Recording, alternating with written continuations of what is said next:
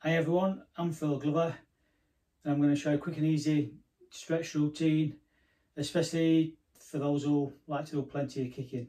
Okay, so right, one hand on front, one hand behind near the hip, you press forwards and down.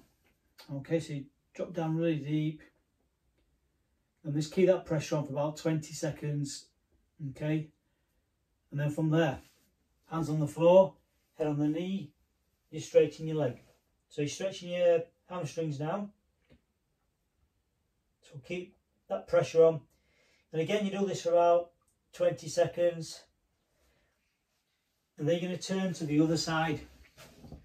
Okay, so same again. Both feet flat, press forwards, go down deep, and just keep pressing down. So you're opening those hips out and you're stretching those muscles there. And again, hands down, head on your knee, straighten that leg as much as you can, keep that head down, and keep stretching those hamstrings, keep pressing.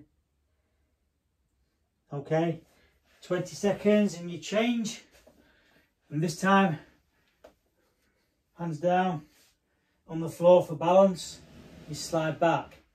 Your front foot if you can, slide forwards, go onto your heel.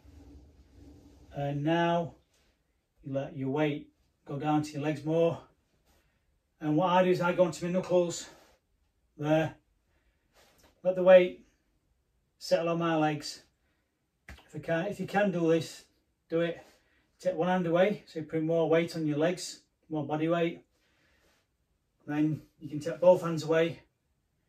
And then just relax and hold it there for about 20 seconds okay and then push back up. Turn to the opposite side. One hand on each leg and again press forwards. They're nice and deep. Hands down slide out slide forwards and go onto your heel. And just let the weight go onto your legs there. I go onto my knuckles once I've let the weight go down.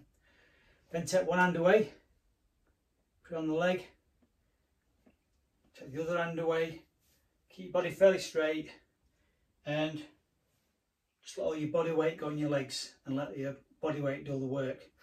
Okay, and just hold it there for a bit. Again, 20 seconds or, or more if you want, it's up to you. Okay, and that's it. Okay, so thanks for watching. Take care, stay safe, and see you all soon. Thank you.